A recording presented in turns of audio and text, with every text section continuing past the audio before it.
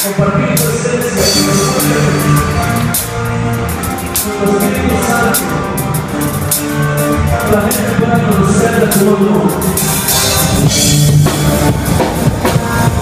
da